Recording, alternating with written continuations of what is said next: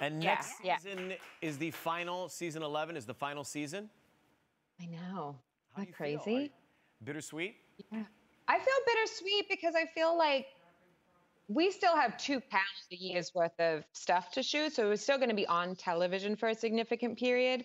But I feel two ways about it. I mean, every good series that I loved, once we moved to England and you sort of fall in love with the series, and something like Fawlty Towers is only a few seasons, and you're like, oh, this is amazing. I love this approach of knowing there's a there's a there's an end point.